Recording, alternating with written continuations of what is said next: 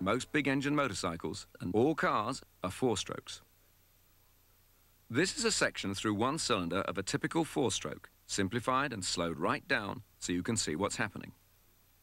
The four strokes, movements up or down of the piston, are induction, when the gasoline air mixture is drawn in, compression, as the piston moves up, compressing the fuel air mix, power, the spark plug ignites the mixture, which explodes, forcing the piston down again, lastly, exhaust, as the piston goes up again and pushes the spent gases out.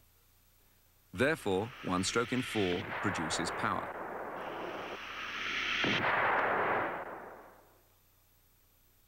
By contrast, a two-stroke, seen here in simplified form, produces power every time the piston comes up. As the piston moves up, it uncovers the inlet port and the natural vacuum draws the mixture in.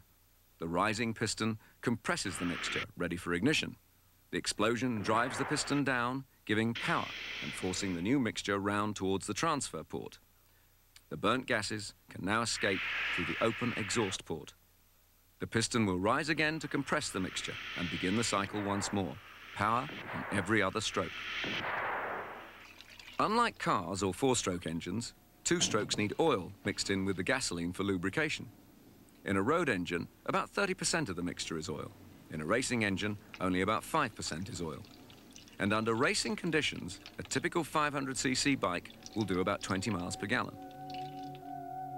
Racing two-strokes are water-cooled, it's the only way to keep an even temperature in the engine, where the exhaust gas may reach 1,300 degrees. The exhaust system is a critical part of the two-stroke engine design. On the three-cylinder Honda, pipes were in the usual position, swept up below the fuel tank. On the later four-cylinder, to improve the weight distribution, the fuel tank was put under and around the engine. You can imagine the insulation problems. This is the only time this tank position has been successful for many years, but it meant rerouting the exhaust pipes up where the fuel tank usually is, over the engine, and under the seat at the back. The design and construction of the exhaust pipes is an art in itself because their exact length and shape controls the speed at which the burnt gas leaves the engine. Slow it down and you lose power.